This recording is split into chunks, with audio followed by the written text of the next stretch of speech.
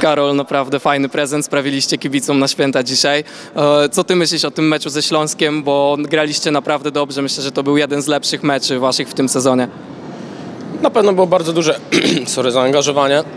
I od, od pierwszej do ostatniej minuty byliśmy drużyną, każdy walczył za każdego, jeden za drugiego. Potrafił oddać serce w tym meczu i myślę, że to był główny aspekt, którym przeważyliśmy Śląsk.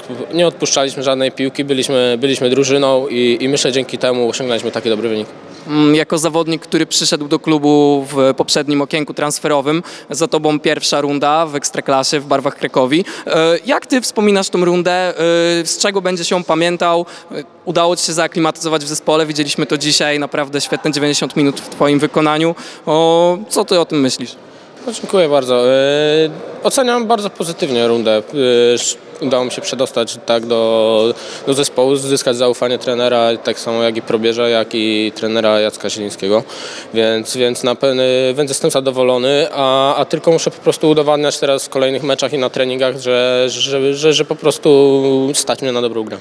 Mm, Trochę pytanie bardziej luźne. Ulubiona potrawa na święta? Ojej, nie mam ulubionej, ale bardzo lubię barsz. Dzięki.